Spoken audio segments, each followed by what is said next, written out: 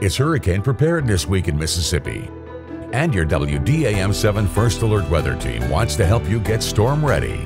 Don't wait for a tropical storm or hurricane to get to the Gulf. Watch and learn how you can get storm ready today.